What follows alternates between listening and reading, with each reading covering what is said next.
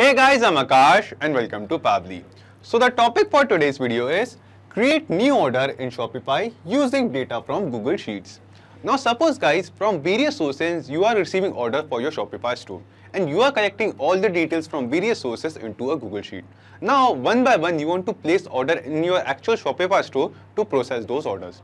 So the manual process of getting the order details from Google Sheet and manually creating a new order in your own Shopify store by yourself can be very much repetitive and time consuming. So in this video, I came up with an automation by which whenever we will add the order details of a new order into a Google Sheet, automatically, instantly, the very same details, a new order will be created in our Shopify store as well. Interesting, right? Now here you must be thinking how we are going to do this. So to make this happen, we will be using Pabbly Connect, which is an automation and integration software. Now, what is the actual step-by-step -step guide to set up this automation and how you can set up this automation by yourself? That too without any coding skill, without any technical knowledge. To know this, you have to come with me to my screen. So as you can see, here we are on the Pabbly Connect dashboard. Now to reach this dashboard, you just have to go to your browser and search for P-A-B-B-L-Y, pabbly.com slash connect.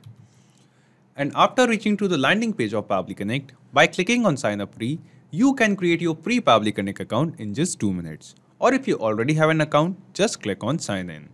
So after reaching this dashboard, click on create workflow and give this workflow a name. For example, I'll name my workflow as Google Sheets to Shopify and click on create. Now we can see that a workflow is open over here. And in this workflow, we have two different windows. First one is trigger window, second one is action window. So triggers and actions are basically those two concepts, those two principles on which this whole automation works on, where the trigger says when this happens and the action says do this. So let's begin with our trigger window. So the idea here is first we have to get the details or the data of new order which we are adding in our Google Sheet inside Pabbly Connect. And then guys, using Pabbly Connect, we will send that very same data to our Shopify store to create a new order over there. So here in Choose app, we will search for Google Sheets. Google Sheets it is. After that, it is asking us for the trigger event. So here in trigger event, we will select new or updated spreadsheet row. And after selecting our trigger event, Pabbly Connect gave us a webhook URL. Now we will use this webhook URL to connect Google Sheets with Pabbly Connect. And how we are going to do the connection, you can refer to the help text given below over here. So just copy this webhook URL from here, go to the Google Sheet, the spreadsheet which you have created. So this is the spreadsheet where I am adding or my team members are adding details of every order. And after that we'll go to extensions and go to add-ons and click on get add-ons. After clicking on get, add-ons, we will reach on Google Workspace Marketplace. So here in search app, search for Pabbly Connect Webhooks, P-A-B-B-L-Y. Pabbly Connect Webhooks. As you can see, I have already installed Pabbly Connect Webhooks add-on in my Google Sheet. So you, you just also have to install this very same add-on into your own Google Sheets account and after that refresh your Google Sheets once. This is a very important step. And after refreshing our Google Sheets, we'll go back to extensions and you will see that you will find an add-on named as Pabbly Connect Webhooks. Just hover on this and click on Initial Setup. After clicking on initial setup, we can see that a dialog box appears in front of us, which is asking us selected sheet, webhook URL and trigger column. So in selected sheet, you have to select the sheet which in which you are adding the order details. So here in this spreadsheet, I have only sheet name as sheet 1. So I'll select that. After that, it is asking us for the webhook URL. So here in this section, we have to add the very same webhook URL which we have copied from Pabbly Connect. So just copy this webhook URL from here and paste it over here. Then it is asking us for the trigger column. So here you must be thinking what is this trigger column. So basically the last data entry column of our spreadsheet is our trigger column. So let me zoom in. Yes, as you can see over here. So guys, in the background, you will notice that the column I will be my trigger column because that is the last data entry column where my data exists. So I will select column I as trigger column.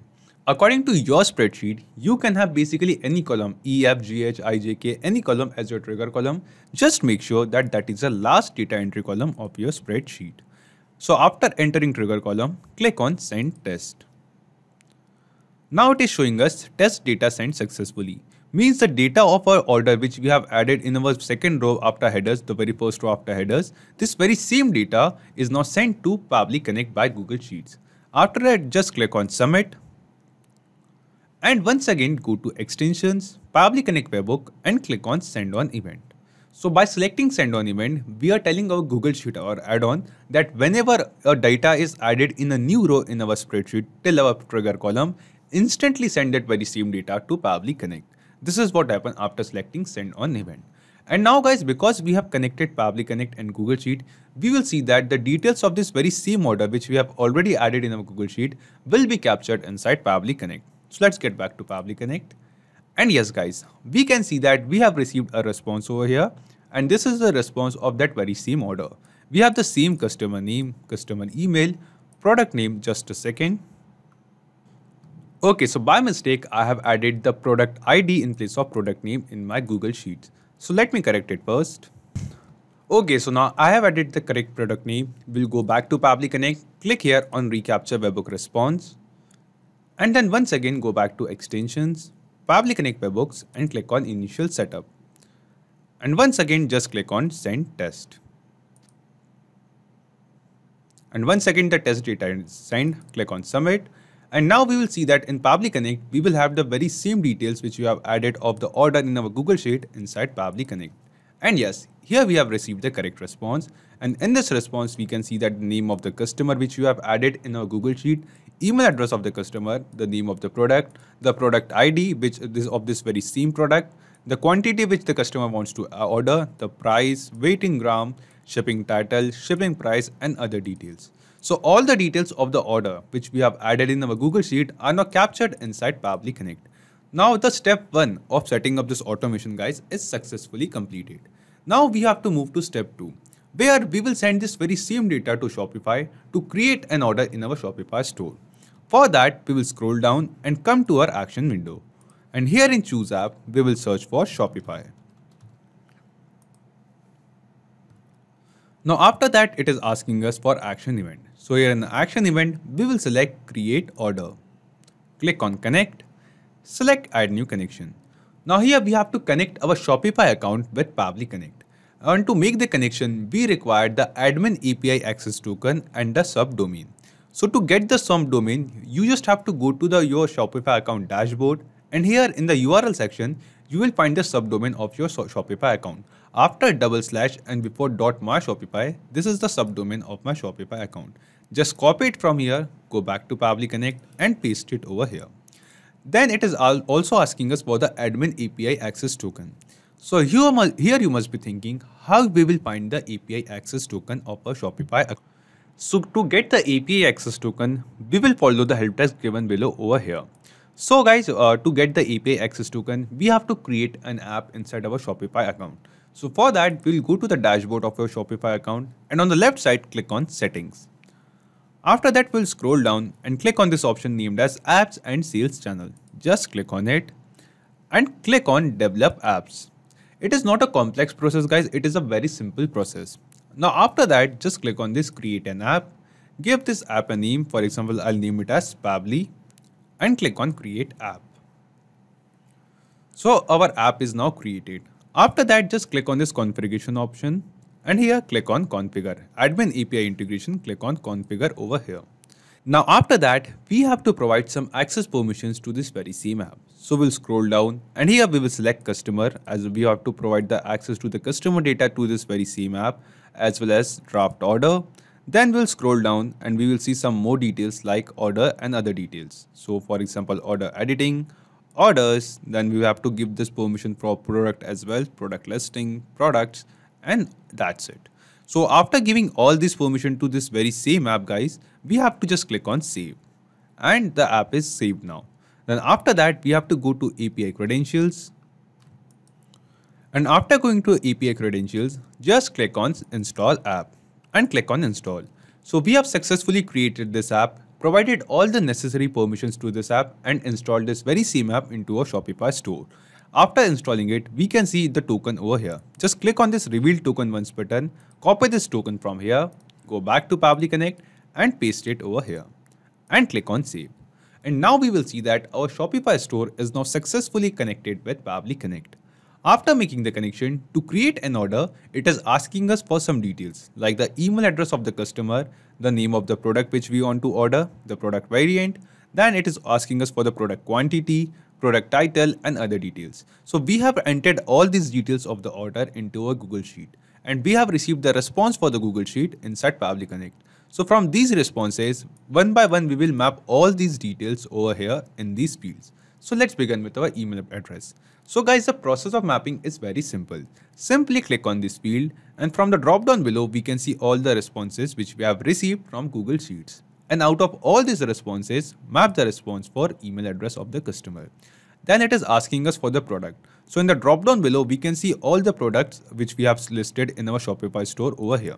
But the name of the product or the product ID will be keep changing. So for that, we have to just turn this mapping button on, click clear the default field and we have also uh, added as you can notice we have also added the product ID of the product. So basically we have to map this very same product ID over here in this field. So map the product ID. Then it is asking us for the variant. So I want to sell the black variant of this particular product. Then it is asking us for the quantity. So we have also received the quantity order quantity. We will map the order quantity in this field. Then the product title. So we have added the product name over here. Just map the name over in, in this field of product title. Product quantity, oh, sorry, product price. So this is the price of the product. Map it as well as the weight. So basically we have entered all the details which are required to order in our Google Sheet. And from Google Sheet responses, we are mapping all these details. Then these fields of notes, discount amount, discount codes, these fields are not mandatory. So I'm ignoring these fields for now. And then it is asking us for the tags. So I want to uh, give a tag of Google Sheet for all the orders which I'm creating from Google Sheet. So I will enter Google Sheets over here. If you want, you can give some other tag according to your choice. Then it is asking us send receipt. So false, I don't want to send receipt to the customer instantly. Send fulfillment receipt, no, false. Inventory behavior, bypass. Then financial status, all these fields are not necessary as well. So you can ignore them. Then it is asking us for the shipping title. So I have also added the shipping name, shipping title. This is, I'll just map it and price the shipping price as well map the shipping price. And all the other details are not, mandatory as well, like the shipping address and other details. If you want to map or add all these details, you just have to add these very same details into Google Sheet and capture the response of those details inside Pabbly Connect. So after mapping all the necessary fields, we will scroll down and click on this Save and Send Test Request button. Now after clicking on Save and Send Test Request, we have received a response over here. And this is the very positive response guys. In this response, we can see that a new order is created in our Shopify account with the very same details which we have added in our Google Sheets. So let's just check it. We'll come to our Shopify account, go to orders section. And yes guys, you can see that just now we have added a new order. We have created a new order in our Shopify store we'll see the order details. So we have the details of the very same customer. We have the very same product, fly repellent fan of the order. We have the same price as well as we will see that this order is placed by the very same customer Ashi Rai. So this is the name of the customer.